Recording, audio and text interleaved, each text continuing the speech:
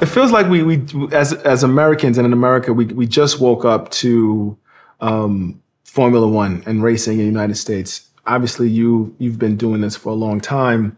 What do you think are the the key contributors to the popularity of the sport growing in the United States right now?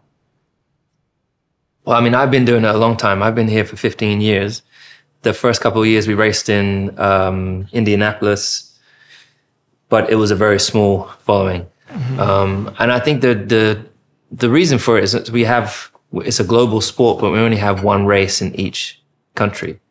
And uh, the, often the thing that I would hear is that, you know, you have to wake up so early to watch a Grand Prix here. It's mm-hmm. just like at mm-hmm. 3 or 4 a.m. or something crazy and um, people's uh, that doesn't work for people particularly if they got work the next day. So right. um, I think, but what's I think what's been a huge transition for us is through the pandemic. Obviously, people were watching Netflix a lot mm-hmm. more, um, and then there was the, t- the the Netflix show Drive to Survive, which really really skyrocketed the, the the sport into a different realm, really. And now all of a sudden, you've got all these amazing sporting fans that are that are here in the states are now starting to catch on and get excited about it. So that's refreshing for me because I've I, I, used to come out here and I'd always have to talk about it, and people just not understanding.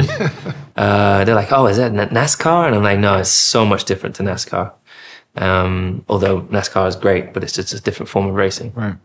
You know, so funny is you talk about that Netflix show and kind of during the pandemic, you know, my interest in the sport grew, right? We knew much about you, but the sport itself and you got behind the scenes and the technology that, it, that gets involved mm. in the sport, it's amazing. And the amount of money that's being spent on it. Yeah. If, if I'm talking to a younger version of myself who doesn't know anything about it, what are some of the things I should be looking for to understand the whole sport of Formula One? I mean, I, it's very, very complex, our mm-hmm. sport. Uh, it's the technology. I think things that, if you're looking for the human side of things, it's it's uh, that we are athletes train in a very similar similar vein to NFL basketball players. Um, the races are almost two hours long. You can lose up to ten pounds in the race. Um, it's, it's, very very physical. Uh, it's basically like it's like a, a fighter jet on wheels. Mm-hmm. And um, it's all made of crazy, amazing components that would be also be in like a space shuttle. So our team could build a rocket if they if that was their goal. The other thing is that it's it's ten teams uh, with two cars, all fighting for two championships: a team championship and a drivers' championship. The drivers' championship is kind of the the glory championship and the team championship's mm-hmm. really about a huge amount of people working towards a common goal. So in my team, there's 2,000 people. Um, and then there's wait, you said 2,000? Yeah, there's actually over 2,000 people now just to, to build two cars. So Gosh. it's um, and you know everybody by name, I'm sure. Uh, no, no, because they're all switching out. It's a bit yeah. a bit like in the NFL, for example. Yeah, yeah, you know, I was just at the uh, at, the, Bronco. uh, the, Broncos game yeah, yeah. in LA. But just just learning more and more about the NFL, just how players are switched out so often mm-hmm. through a mm-hmm. season, mm-hmm. and it's very very similar for us with with engineers and designers. They're they're being traded, not being traded as such, but they're being chased by other teams. You know, wow. the other teams want, right? You know, our aerod- aerodynamicist or um, our tire guy. You know, right, so. Right. Um, and otherwise, the crazy things is that we do uh, over 200 miles an hour pretty much every lap. But it's not about the speed in the straight line because that's the one, particularly here in the States, everyone asks, what's the top speed? Right. Two, we do 200 miles an hour easy. It's like just not even a thing for us. So it's not even something that we really think about. It's, it's more about the, at the high speeds that we can take corners at like 180 miles an hour and when you turn, the car is on rails and your body wants to go in the opposite direction. So that's the G force that we pick up. Um, and then it's the wheel to wheel battles we have at those high speeds. Like you're doing 180, 200 miles an hour down the straight and you're battling with people and it's split second decisions. As the excitement grows and statewide, you, you do spend a lot of your free time here in, in the States, um, from your recording studios or even training and you snowboard, from, from what I understand. Um, are you happy to see the sport growing and you doing more work here and more races being done in the United States? I mean, well, firstly, we don't get a lot of downtime. The season is from February all the way till December. Um, so, and then you still have commitments pretty much till like the 16th of December. And then, so you then get your period off for Christmas and then you're back into training through January, uh, for the season.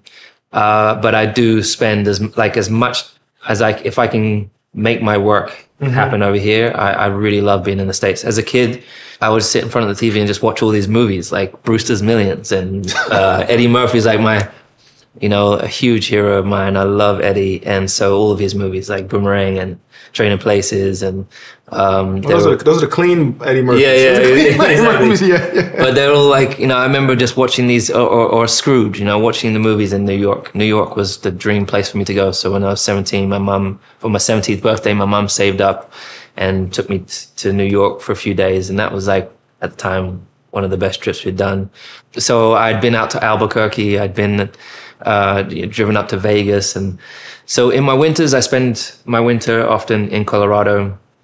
Snow is the best really there. Um, and then I love getting out to New York or it's California if I can. Um, but I think it's great that we have more and more races here because there is such a this huge growth uh, in America for and a, a, a, huge like uh, thirst for this sport now, mm-hmm. and we need to have it happening more here for people to get more and more used to it. If you're just having that one event a year, then it's it's like a peak moment, and then it dies for mm-hmm. a whole mm-hmm. year. And so when we have a few of them through the year, it just it brings more excitement, more eyeballs, um, and uh, more youth getting into the sport. And the youth, youth is they're big. That's big for you. Let's talk more about um, the youth and your mission 44 can you tell me a little bit about that organization? Yeah, so uh, I mean, I'm 37. I've been racing for 30 years. Jeez. Um, and I've been professional for 15. And my dad and I, we were the only people of color, still to this day, we're only generally the only people, black people at least, uh, but very, very few people of color, for example, within the industry. And year on year, when I would ask when I'm amongst the team of 2,000 people, when I would ask why, why am I the only person of color in the in the room, um, or, or, how comes you're not hiring many people of color? Why is it not diverse? There was never really an answer for it, and they didn't they didn't know what the barriers were. Mm-hmm. So I set up a a commission which was set out to, a research base to set out um, to try and find out what those barriers were for for for young youth from diverse backgrounds um, from low socioeconomic backgrounds mm-hmm. and just generally disadvantaged kids trying to get into STEM subjects, which then is a pathway into into engineering in the sport. And so with that, I was able to present the findings of that to my sport and say, hey, the, these are the issues and these are the things that we can do. Mm-hmm. There was 10 recommendations.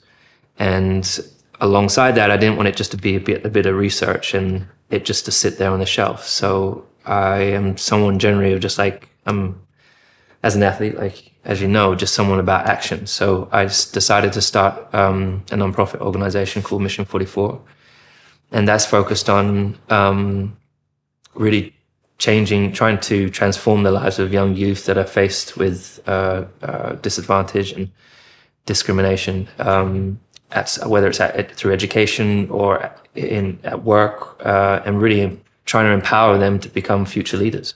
I don't want to just be uh, provide a service for the team anymore. I was like, what can we do to create impact? Yes, it's all great going and winning races and being champions and that, but we've got to really lead in um, our fight for D&I. Mm. Um, within our industry, within our team, mm-hmm. we've got to improve within our team, but we've got a plan for the future, and it's really getting young youth in. Uh, again, just improving those pipelines into our sport. Yeah, I love that. I think even for myself, you know, growing up in New York City, I, I I, struggle with that, right? As a football player, it's a little different because my team has diversity built in. But sure. you know, in, in, upper echelons of corporate America, where I'm at now, sometimes I'm the only one in the room. Absolutely. Let's let's go back one step though. Where did you get the courage to speak up about you being the only one in the room? How, where did you get that courage from? Um, I think partly it's ingrained in in who I am. I've I've never been really good at adhering to kind of um, rules. Um, if someone tells me I can't do something, I would always be about proving them wrong. Um, I think really I, I, over. I think you know when I first the dream was to get to Formula One. As we kind of slipped through the cracks somehow, and we got there, the only black family uh, there. I think the goal was obviously to win world titles. But when we got there, we thought that we, you know, we we aspired to do something like the Williams sisters or you know like Tiger. We watched those on TV mm-hmm. and thought, oh wow, they've broken the mold and maybe now they've broken the mold, more young people will get in, which they did. Mm-hmm.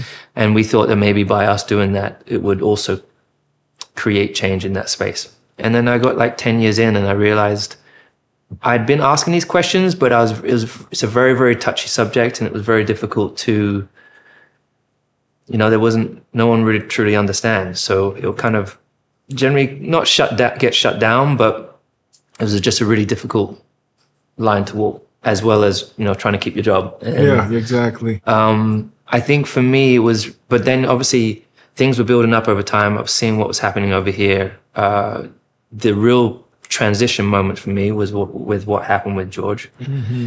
and George Floyd, and just over time you're seeing more and more of the violence that was happening over here. Mm-hmm. It really hit home for me, um, as it did for I'm sure for so many people but for me, it brought up a lot of my past that I just suppressed, basically. The experiences I had in the UK. Like, we don't have the same gun violence that you have over mm-hmm. here in the States, but there's still discrimination all over the world. And um, black people face very, very, um, I would say they're different, but in many ways similar in terms of obstacles, in terms of getting uh, good education, getting uh, great jobs like you're talking about within uh, your industry, how the higher up you go up the pyramid, the yeah. less it's diverse. And that's very much the same in my sport. Although we don't have, there's not many of it. There's only 20 drivers. So it's not like uh, you have a whole team of us uh, servicing a team. And my goal is really to, to change that in the future. I think a diverse team is always uh, it has been proven to be better for an organization. Mm-hmm. It's better for, for idea creation, creativity, and um, it shows that there's there's better performance for for a team um, when it's more diverse. But it starts with education and um, encouraging young youth and letting them know that there is an actual opportunity. Like young black kids in England, particularly, don't think that there's a role for them because they don't see some of them on when they're watching the Grand Prix, for example, they don't see someone that looks like them, so they're like, "There's no way I can be there." Um, for me, uh, when I was watching Formula One when I was five, I didn't see anybody that was black, but and and that could have uh, hindered me, but it was still my dream. Um, and luckily, I had my dad who supported me there. Now, how do you think, from a corporate sense, um, your efforts are being viewed, even both um, at home in, in London and, and, here in the United States? And from a corporate sense, how is it something that you felt like you had to to fight to get this initiative going, or was something that everyone said, you know what, I think it's time? I think it's, I think just getting into sport was a fight. I think getting people to listen for sure was a fight. That's, I think that's the same for many many people. Um, what I've been really grateful about is I got signed when I was 13 by Mercedes. Um, when I sat down with them in 2020 and said, look, we have to do more. We, we have got to make a stand. We've got to, I have a responsibility and I want to let the black community know that I hear them, I stand with them, and I'm going to do something about, do something as, do as much as I can with the platform and the opportunity I have. So we changed our car from silver. Mercedes had never changed their car from silver to black in 2020 and I won the seventh world title that year mm-hmm. in the black car, which was really quite phenomenal for us as a team. Um, then, for example, as a team, my boss and everyone had we went through diversity and inclusion uh, training. All, every single one of us did it. Um, my team, when we were on the grid, my team took the knee with me, um, which is all at the time was all generally white at the, at the track, for example. Um, so everyone was very, very open-minded and super supportive. Mercedes has now got um, several initiatives like Accelerate 25, which is trying to improve, get the team from it was like two or three percent diversity to 25 percent within five years. Mm. Um, we've started, as I said, in, as part of the last contract, we started um, an organization called Ignite, which I help fund, they help fund, Mercedes help fund. Mm-hmm. And that's again trying to improve the representation within our sport. One of the things is trying to get 8,000 young girls into our sport because again, there's not many, um, not enough women within our industry. Mm. Um, and, and then I've had huge support and a great reception from the whole industry as a whole. Um, like trying to get all the teams to sign a charter. Mm-hmm so that they also go and do the work and the research and improve the diversity within their team. So, but of course, you still get it like there's still sometimes a little bit of um, pushback, mm-hmm. but it's really I realize it's really about creating allies. It's really about um, just creating that understanding and taking people on the journey with you. Love it. Love. It. Sounds like you have a lot on your plate, right? Yeah. You're you're a driver. You big into diversity and inclusion, but um, you also care about the environment really well, right? You're into sustainable technologies. Again, a man that has so much on his plate, you, you don't have any downtime, right? You've corrected me already on that. Um, how do you fit that part also, like caring about the environment? Why is that important to you? Well, look, I've been, uh, like everyone, I grew up a relatively normal life. I raced two thirds of my life. And I remember when I got to this sport, for sure, diversity diversity wasn't, uh, and particularly uh, sustainability was not at the top of anybody's list, mm-hmm. any industry. Um, it was a, we also recycle paper, you know, mm-hmm. and it was at the bottom of the list.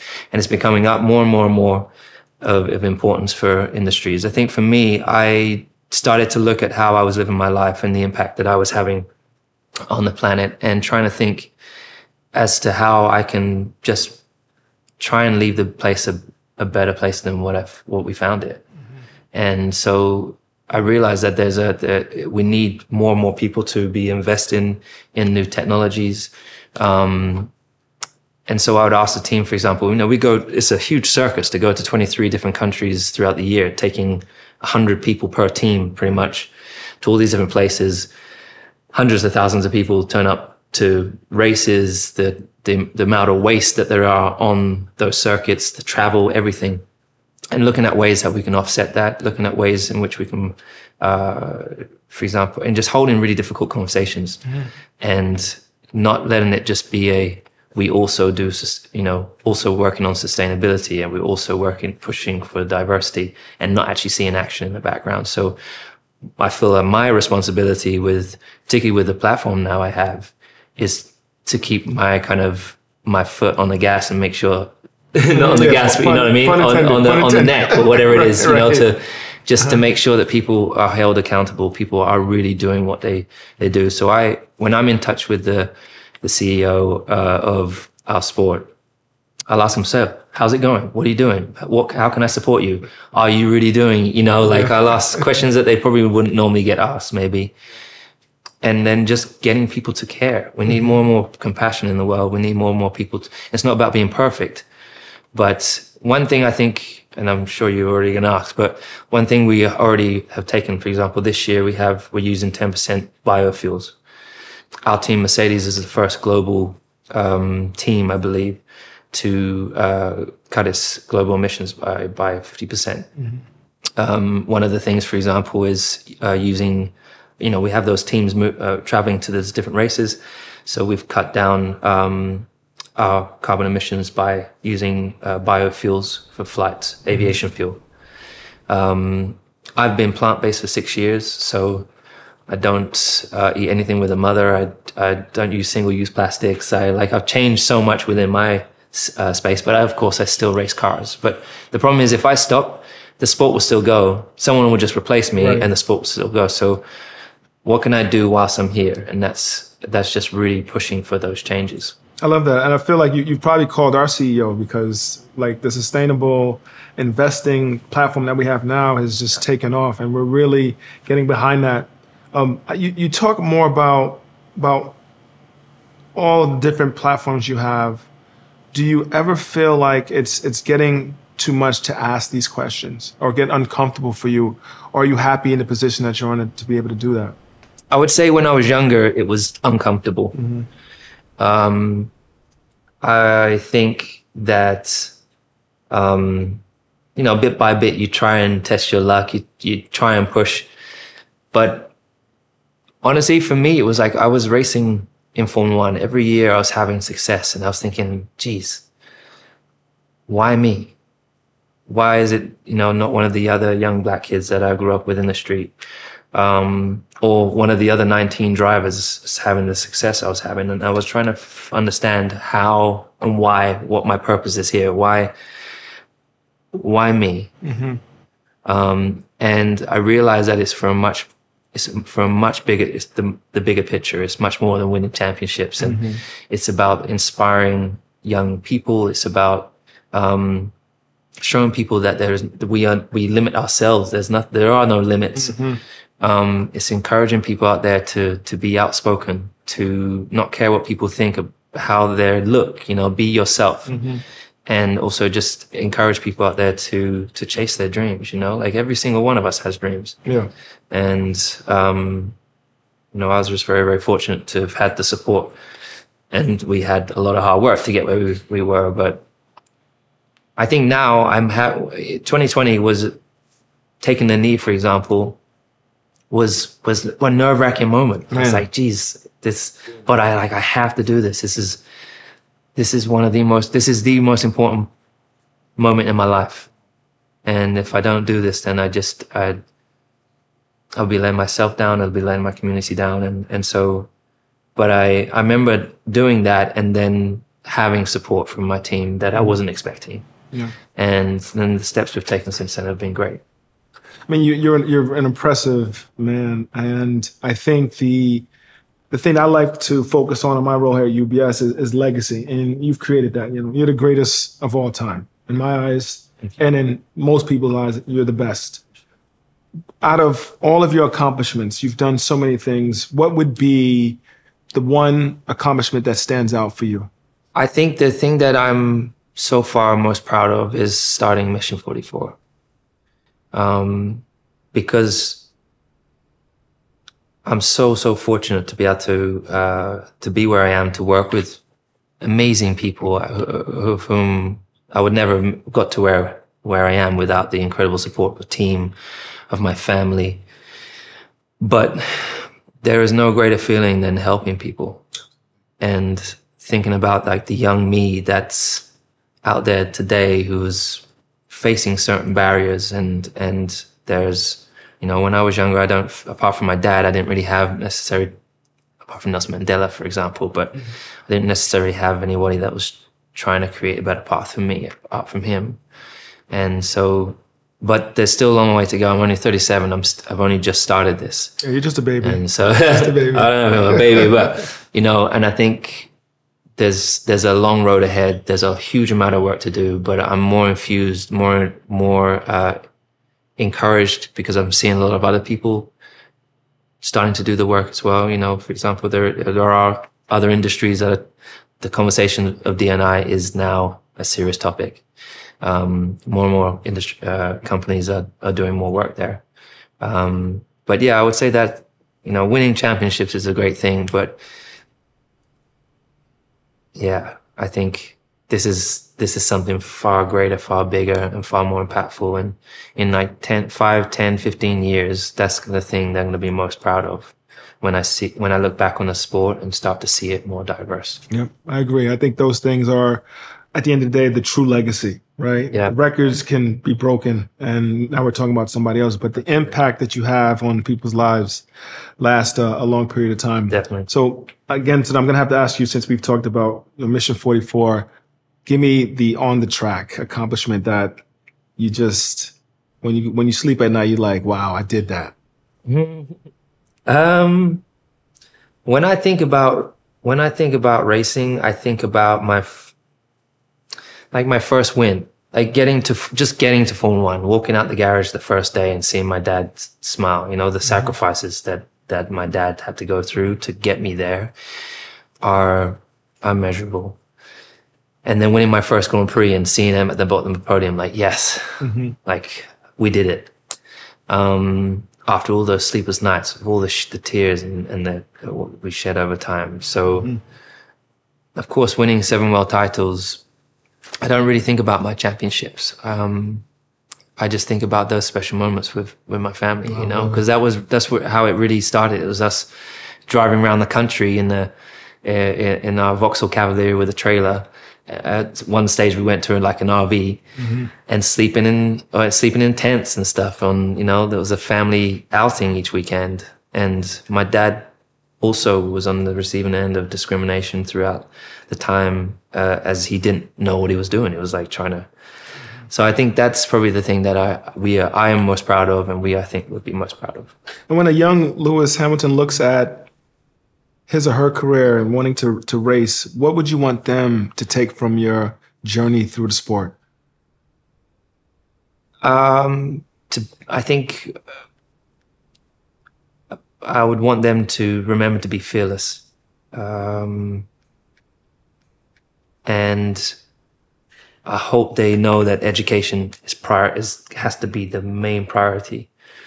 That's the foundation of everything. When I'm working with a team of 2000 people being able to communicate with all these universities and you know genius engineers mm-hmm. uh, i'm fortunate that i had good support in that space um, but just that nothing is impossible.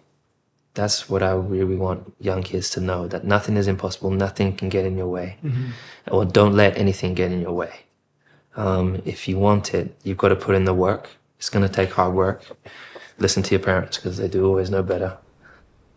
Which you know is the truth. Yeah, that's that's great, and I, I think the the thing that I, I love about what you talk about is you know the the memories and the the the relationships that you created through the sport, and it does bring communities together. Definitely. And as you look back at your career, and obviously we have young eyes looking at you what would you tell that young person that's thinking about coming into your sport and tell them why you're doing this stuff off the track? Why is that as important to you as these championships?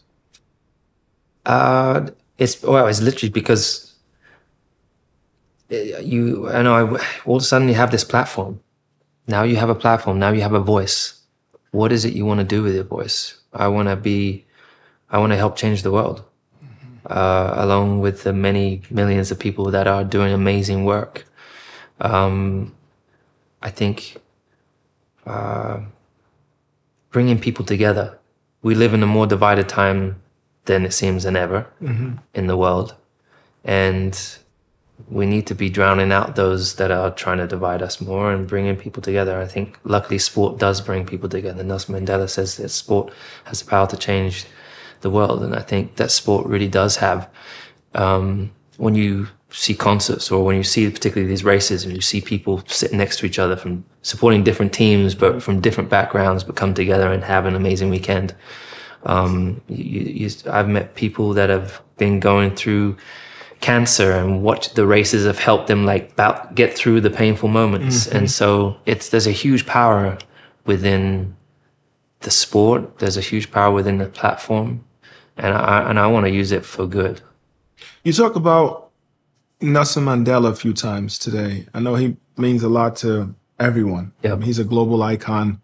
Um, let's shrink it just a bit from from a British standpoint. Is there any black um, activists or, leaders that you could have looked up to when you, besides your dad, but you could looked up to when you were coming up the ranks? Uh, for me, it was uh, Ali, uh, I got a book, uh, the autobiography of Nelson Mandela when I was a when I was a kid, and my dad was always pushing me to read. So I remember reading this book on Nelson Mandela and just idolizing him, mm-hmm. just like wow. And I had the honor of meeting him, but knowing his story, I, I take so many lessons from from him. I think one of the most most important lessons is how humble he was when he came out of prison after being wrongfully imprisoned for 26 years and he came and had uh, went and had tea with the man that put him away and was able to forgive. I just find that incredibly powerful. Yeah. Um, and then just what he did for people, just uh, he was such a bright light. I think we all are bright, shining lights, you know. And I think there's that great quote from Maya Angelou, is like, "Who are we to have to dim our light to make the person next to you feel better?" And anything you got to shine as bright as you can, smile, mm-hmm. and be as big and bright and bold as you can to encourage the person next to you to want to do the same. Love it. Listen, I, I am completely honored to be sitting here with you. I asked if we could have brought a real goat in here to sit with us during the interview. They wouldn't allow it because uh, you're the greatest of all time. Um, and, but it's not just what you do on the track. It's evident by the way you move, your day to day, and the way you look at life, and the way you inspire others. Um, I'm older than you, but I can say that you inspire me. So you look young, dude. Yeah, listen. Yeah. I eat well. Good. Uh, I'm not on your diet yet, but uh, I do tend to eat well. But thank you so much for being with us, and um, much success. Thank you very much. Thank you. Appreciate it.